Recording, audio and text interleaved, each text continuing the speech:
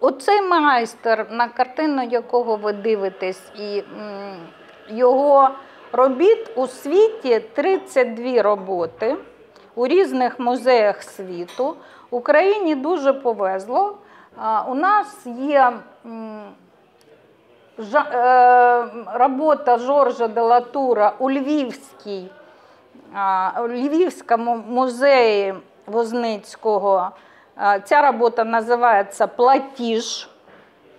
От показує нам Антон. І е, я зараз розповім спочатку про митця, а потім я розкажу історію саме цієї картини. Це дуже цікаво. Жорж де Латур родився, народився в Латарінгії.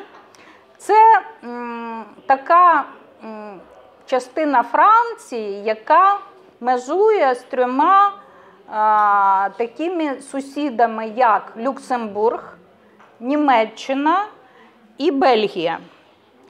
І е, завжди на цій землі були війни, завжди е, були негаразди. І тому Латур зі своєю сім'єю переїжджав. Е, спочатку він жив в Люневілі, дуже гарнесенький, малесенький, такий дуже гарний провінційний французьке містечко таке.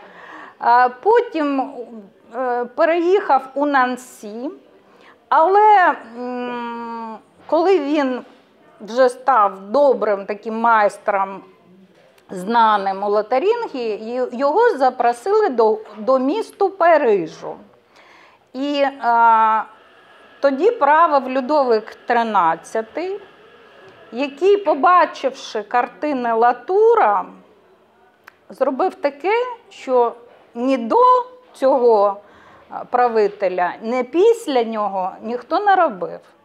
Він наказав винести картини, а вже е, були картини в Луврі, бо це е, початок 17 століття, вже була колекція непогана, початок колекції Великого Лувру. Він приказав винести геть усі картини, залишити тільки картини Латура. Бо він вважав, що більш живописних, більш таких духовних творів немає, що Латур, Латур перший і єдиний. І його назвали живописцем короля.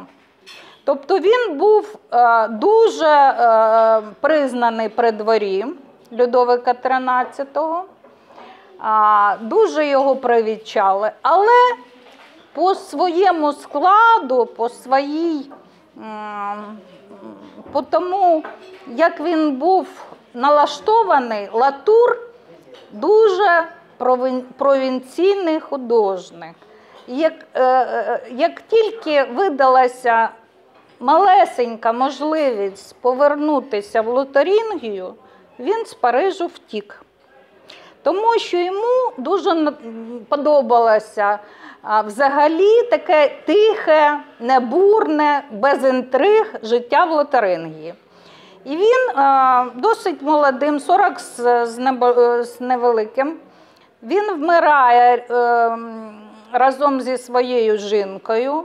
І в них було десятеро дітей, вони теж всі померли, бо на Латерингію спустилася чума.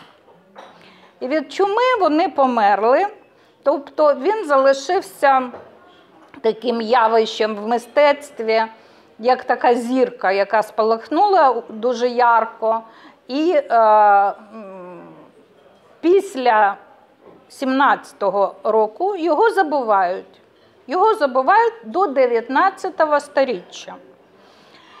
І у 19 сторіччі, у кінці віку, його заново відкриває німецький мистецтвознавець, такий ВОЗ його прізвище, який всьому світу демонструє, що цей художник, якого не згадували кілька сторіч, він взагалі унікальний. От ви всі кажете, е, він казав, е, Девос сказав, що ви кажете Караваджо, Караваджо. У Франції був свій Караваджо, Делатур.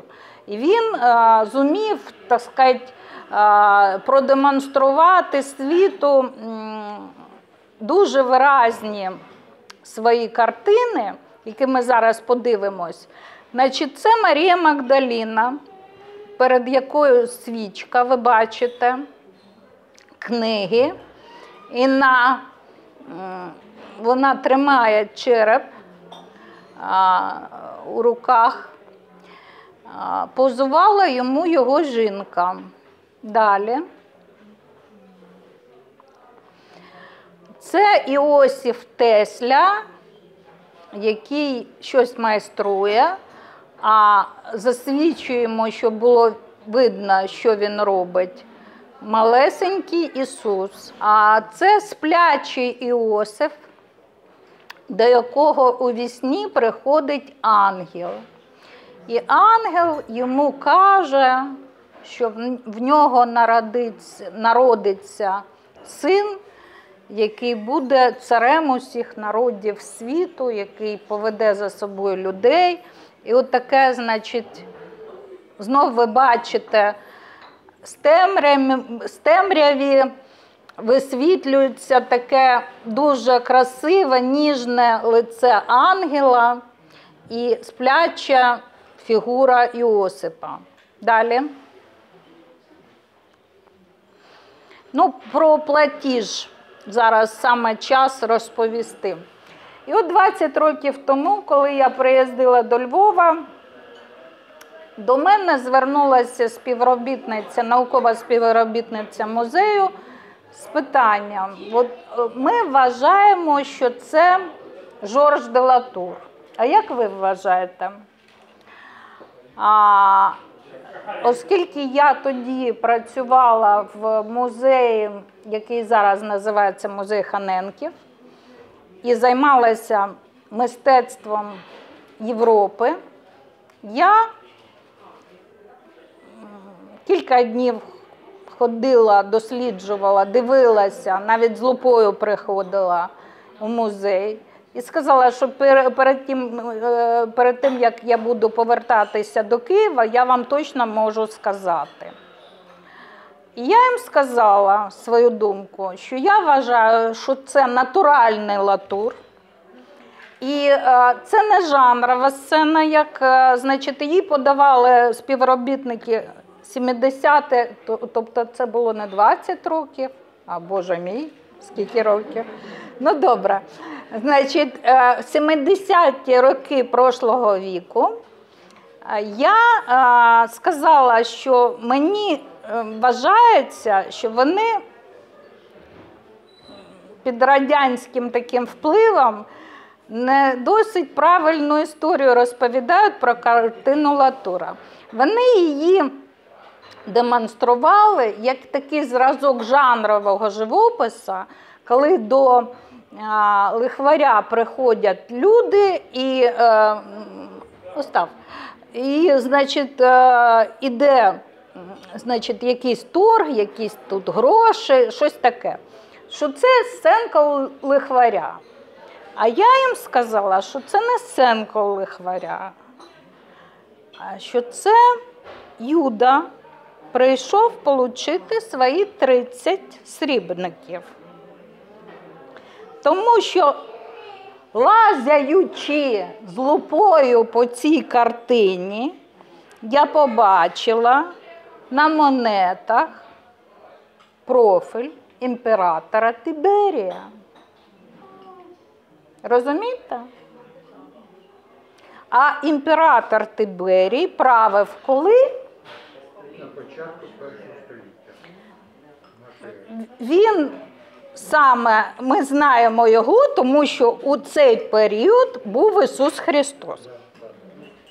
І це дало мені змогу сказати, що я вважаю, що це платіж, не просто платіж, а платіж Юді за його вчинок. І це Жорж де Латур, я так сказала. Пройшли годи, роки. І е, картину е, запросили у Мілан на виставку. Ну, е, музейні плани складаються не, е, не так, що от у цьому року, році ми щось обговорюємо, і на слідуючий рок ми робимо. Ні. 5 років може бути плани на 5 років, на 7 років. І було, мені розповідали вже львів'яни, що їх запросили до Мілану на виставку. Головною фігурою цієї виставки повинен бути Жорж де Латур. І вони у пожежному порядку взяли реставраторів з Києва, зі Львова, най, е, найяскравіших представників реставраційного цеху.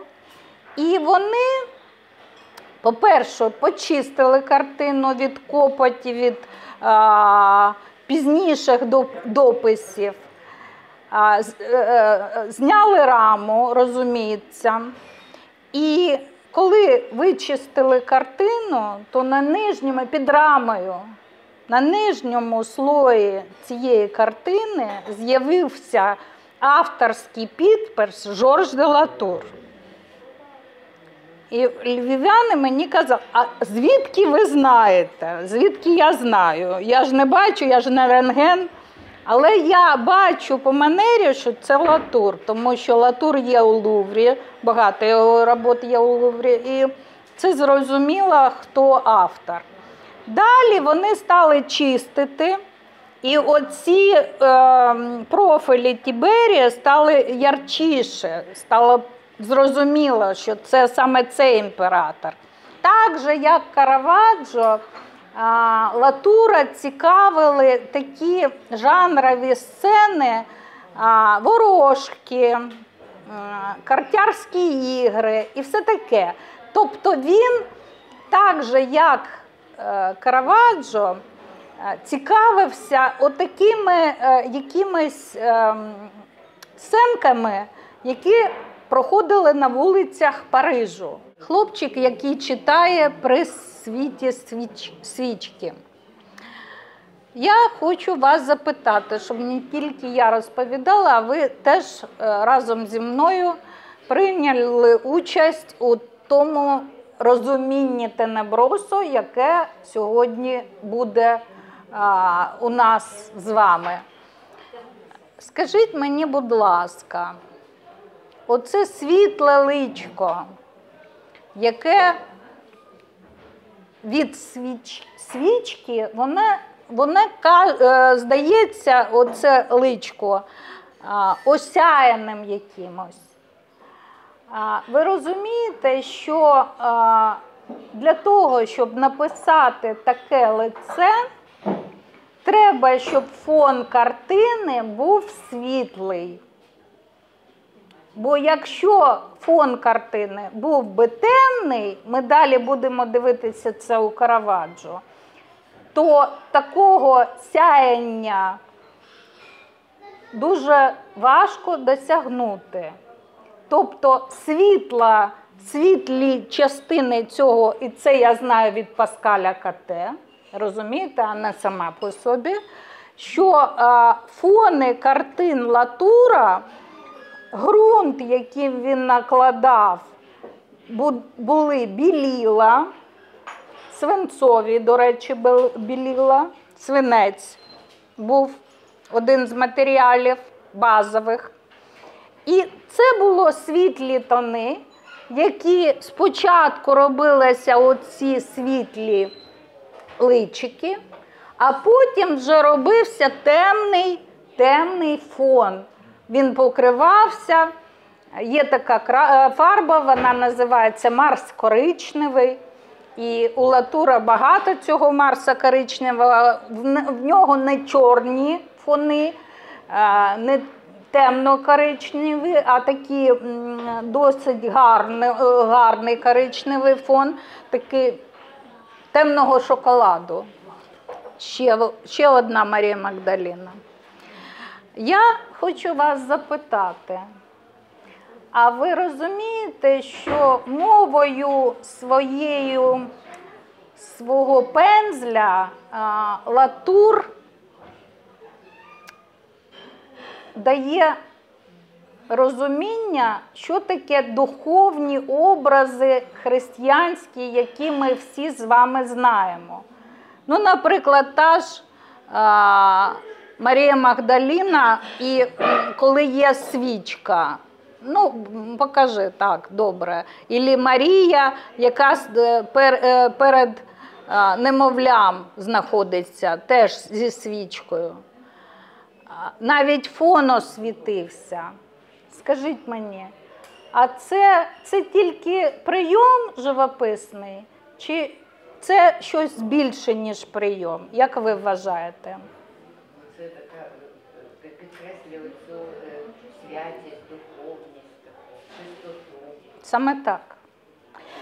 Тобто ми з вами е, стикаємося з таким питанням, коли техніка, яка, яку винайшов е, Латур, вона цілком присвячена тому, щоб показати духовність, духовність слова, духовність вчинку, духовність персонажів, яких він е, малює.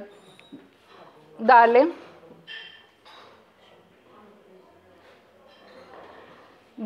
Дивіться, як освітлення у цієї композиції, як воно робить навіть не просто живопис, а скульптурний живопис. Ви бачите, що його фігури дуже скульптурні. Вам це видно? Це видно навіть на слайді. А коли дивишся у живій картині, ти думаєш, як же ж він, певно, вмів не тільки малювати, не тільки писати картини, а напевно Латур ще вмів а, працювати як скульптор. І я, коли розмовляла з Паскалем Кате, я е, в нього спросила, що- спитала, я кажу, е, він з сім'ї каменярів, Паскаль Кате. Могло таке бути, що він ще трохи займався скульптурою.